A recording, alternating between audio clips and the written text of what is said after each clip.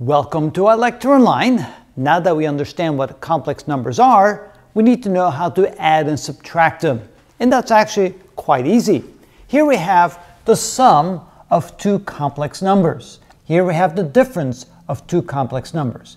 In the case of adding the two complex numbers, we have to add the two real parts together and we have to add the two imaginary parts together. So that becomes a plus c as the real part and b plus d times i as the imaginary part.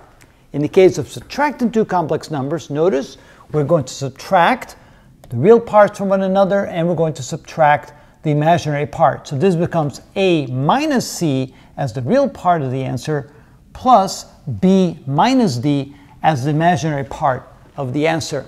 And that is how simple it is. So let's go do some examples to see if we now understand how to add and subtract complex numbers.